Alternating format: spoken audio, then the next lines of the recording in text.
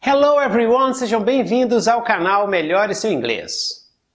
Na dica de inglês de hoje nós vamos ver party e o que, que as expressões que nós usamos quando estamos planejando uma festa, a party. To blow up a balloon, encher balões.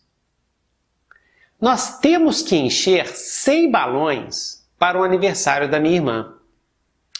We have to blow up 100 balloons for my sister's birthday.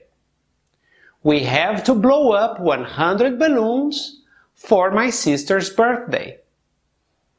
To pour the wine. To pour the wine. Servir vinho. Todo mundo estava quieto na festa até eu começar a servir vinho. Everyone was quiet at the party until I started pouring wine. Everyone was quiet at the party until I started pouring the wine. To make a guest list. Fazer uma lista de convidados. Ela escreveu uma lista de convidados para sua festa de formatura. She wrote a guest list for her graduation party. She wrote a guest list for her graduation party. To put on some music. Colocar música. Eles colocaram músicas muito boas na festa.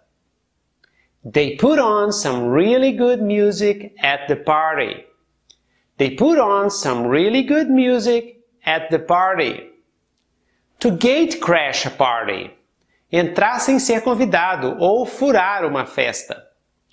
O anfitrião está com raiva porque alguém entrou na festa sem ser convidado.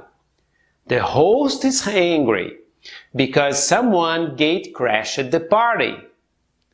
The host is angry because someone gate crashed the party.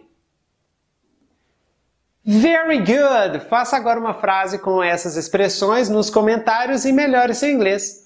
Siga o Melhore Seu Inglês no Instagram, no Facebook e procure pelo podcast Melhore Seu Inglês no seu programa de podcast. E para aulas de inglês por Skype ou WhatsApp individuais, personalizadas, focadas em conversação e para todos os níveis, basta entrar em contato comigo ou com a professora Érica. E marque uma aula experimental gratuita para conhecer o nosso trabalho. Fica aqui um grande abraço. Keep studying English, continue estudando inglês, and see you next class!